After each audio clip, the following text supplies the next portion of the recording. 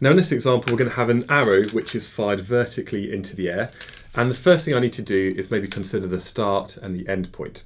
So I'm going to say for this that the start point is when the arrow is pulled back in the bow but it hasn't been released. So that's my starting point. The end point is when the arrow gets to the very highest point and at that point it stops going up and for an instant it's not moving at all. So it's going up, it slows down to a stop and then it comes back down. So that's going to be my end point at the very highest point. So how's the energy stored at the beginning? Well, we can see that the piece of elastic here has been extended.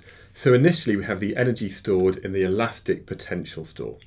Now, a very small amount of time later, as the arrow is just released from the bow, we can see that the arrow's gone up in height slightly, so the gravitational potential of the arrow has increased by a small amount, but it's also now travelling really, really quickly.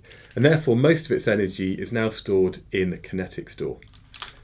Once this is released and it goes higher and higher, as it gets higher, it starts to slow down, and so the gravitational uh, store increases while the kinetic store goes down. And this happens until it gets to the very highest point, at which point it's now got no kinetic energy because it's not moving, and instead all of its energy is stored in the gravitational potential store. So what about the transfer processes for each of these? Well, initially uh, there's going to be a force which is causing the arrow to accelerate as this piece of elastic uh, goes back to its original shape. And because we've got a force acting on it, we've got this mechanical transfer. And then once it's actually left the bow behind and it's going up into the air, once again we have a mechanical transfer of energy. Because what's happening is that there's a force acting down the weight over a certain distance.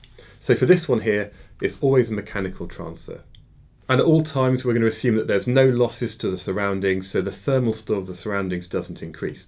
So that's one way to maybe look at the energy stores and transfers for an object which has been projected into the air. Now the next example below is looking at a bullet, and for that we need one of these.